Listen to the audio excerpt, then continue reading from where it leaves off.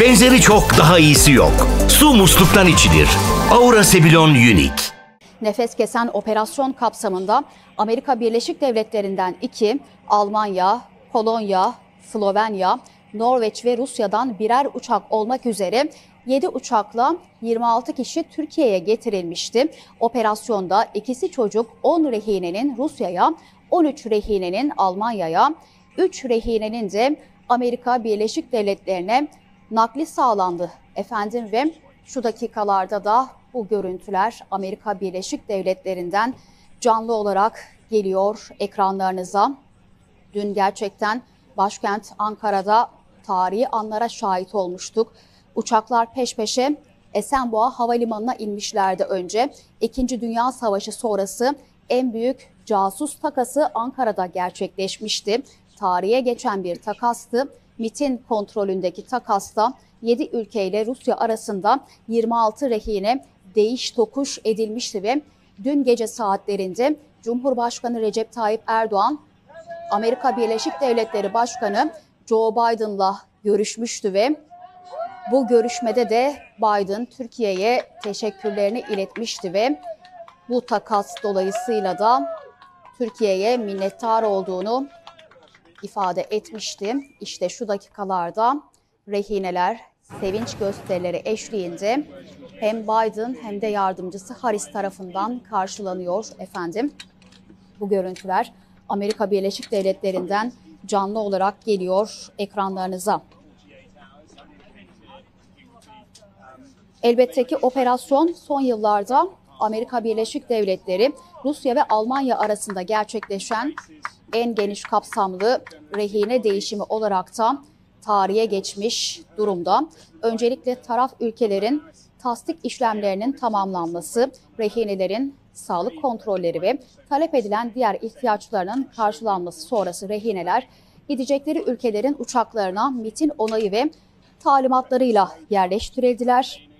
Taraf ülkelerin uçakların dönüşü yine Milli İstihbarat Teşkilatımızın onayıyla gerçekleşti ve rehineler o uçaklarla ülkelerine doğru yola çıktılar ve Amerikalı olanları taşıyan uçaklar an itibariyle Amerika Birleşik Devletleri'ne inmiş durumda ve rehineler şu dakikalarda sevinç gösterileri eşliğinde karşılanıyorlar.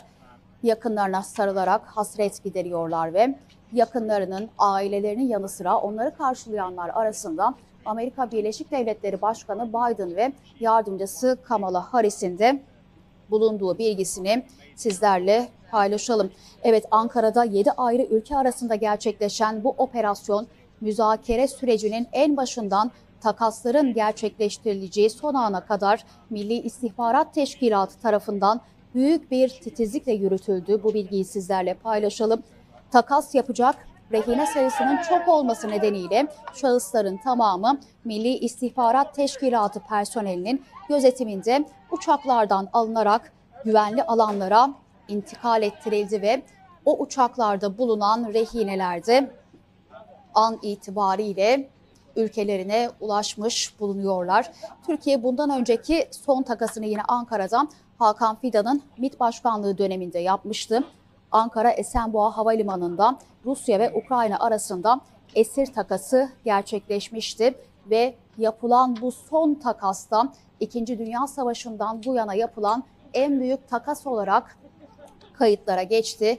Bu bilgiyi sizlerle paylaşmış olalım. Yani Milli İstihbarat Teşkilatı tarihi bir takas operasyonuna imza attı ve söylemiş olduğum gibi İkinci Dünya Savaşı sonrası en büyük takas olarak da tarihe geçmiş oldu diyebiliriz. Amerikalı ve Rus rehineler takas edildi efendim. Bunlar arasında önemli isimler olduğunu söylemiştim. Wall Street Journal muhabiri de takas edilen isimler arasındaydı. Yine eski piyade, eski deniz piyadesi de bu takas listesinde yer alıyordu.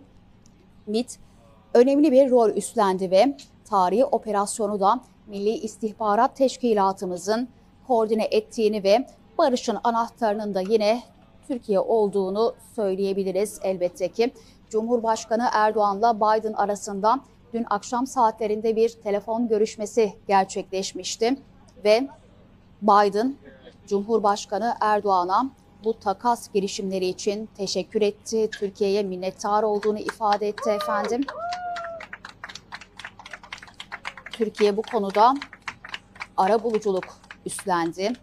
Çünkü biliyorsunuz Rusya-Ukrayna savaşı başladığında Cumhurbaşkanı Erdoğan ne Rusya'dan ne de Ukrayna'dan vazgeçeriz demişti. Çok eleştirildi Türkiye'nin bu tavrı ancak işte görüyorsunuz takasta arabulucu oldu Türkiye ve diyaloğun önemi de böylece bir kez daha ortaya çıkmış oldu.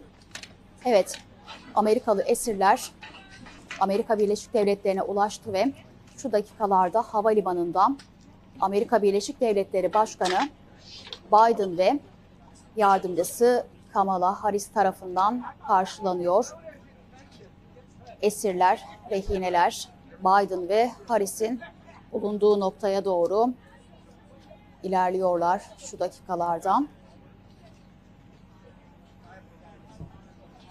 7 ülkeden 26 kişi dün Ankara'da film gibi bir operasyonla takas edilmişlerdi ve bu casus takasını da Milli İstihbarat Teşkilatımızın koordine ettiğini sizlerle bir kez daha paylaşmış olalım. Elbette ki Türkiye'nin prestiji de bu aynı zamanda casus takası efendim. Evet şu anda havalimanından Amerika Birleşik Devletleri'nden alkış sesleri yükseliyor ve Amerikalı rehineleri taşıyan uçağın Amerika'ya ulaştığını söyleyelim efendim.